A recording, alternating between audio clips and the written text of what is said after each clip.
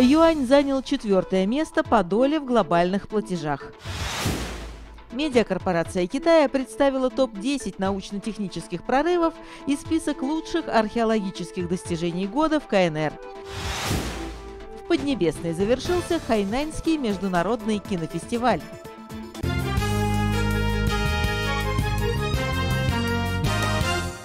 По данным системы SWIFT, доля юаня в глобальных межбанковских переводах в ноябре поставила новый рекорд, достигнув 4,6%. Китайскую валюту опережают только доллар, евро и фунт стерлингов. Их доля в общем объеме международных платежей незначительно снизилась. В то же время доля юаня выросла с прошлого года почти в два раза, а по сравнению с октябрем на целый процентный пункт. Аналитики связывают такую впечатляющую динамику с развитием торговли в национальных валютах и валютными свопами Народного банка Китая с центробанками стран торговых партнеров Поднебесной.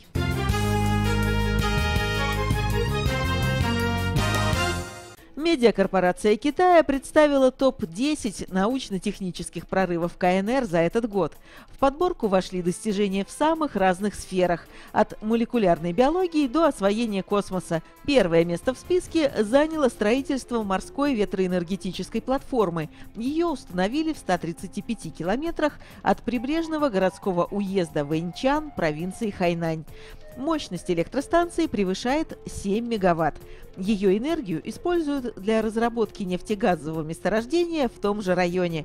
Это первая в мире ветроэнергетическая платформа, которая стоит так далеко от берега и погружена в воду более чем на 100 метров. Новый объект соответствует высочайшим стандартам безопасности и способен выдержать удар супертайфуна со скоростью ветра более 80 метров в секунду.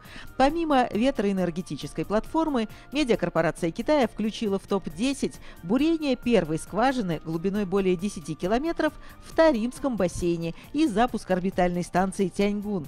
Также в список вошло открытие гена урожайных зерновых на засоленных щелочных землях и выделение группы клеток в спинном мозге, которые запускают старение человеческого организма.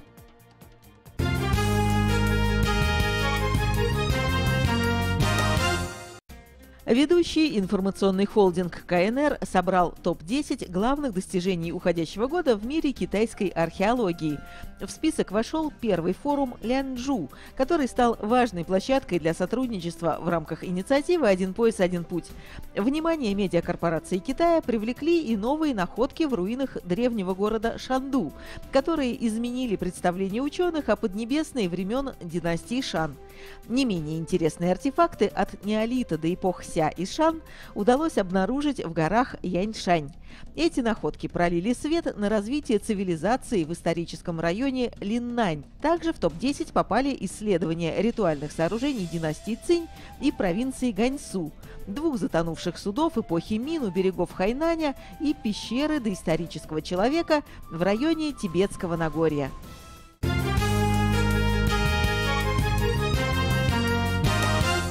Пятый Хайнаньский международный кинофестиваль подошел к концу. Его финальным аккордом стало вручение премии «Золотой кокос».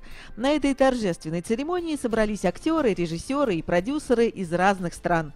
Награду присудили в 10 номинациях. Вместе с престижным трофеем победители получили возможность продвигать свои проекты на мировом уровне. Хайнаньский международный кинофестиваль впервые состоялся всего пять лет назад, но уже стал одним из четырех главных кинособытий событий Поднебесной. Он закрепил за городским округом Санья статус важного культурного центра и стал новой площадкой для диалога цивилизаций. Программа фестиваля объединяет огромный диапазон жанров, традиций и историй со всего земного шара. В этом году билеты на кинопоказы очень быстро раскупали. Что неудивительно, ведь в прокат вышло много иностранных фильмов, которые очень ждали китайские зрители – подогрели интерес и встречи с актерами и режиссерами после премьер. Думаю, такие кинофестивали – это окно, через которое мы можем увидеть другие уголки планеты с их обычаями, географией, культурой, образом жизни и ценностями. Неповторимая атмосфера тропического острова стала отличным дополнением к программе фестиваля.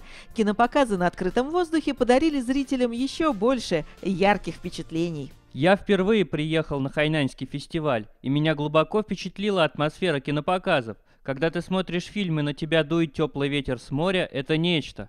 Очень интересный опыт. Я запомню его на всю жизнь. Уже с первого дня я убедился, что на Хайнане отличная атмосфера для продвижения кинематографа и культуры в целом. Само место проведения, экран, звуковое сопровождение – все было на высшем уровне. Наряду с кинопоказами в программу вошли форумы, мастер-классы, дискуссии и встречи со съемочными группами. Все это сделало фестиваль важной площадкой для обмена идеями и сотрудничества между кинематографистами со всего мира.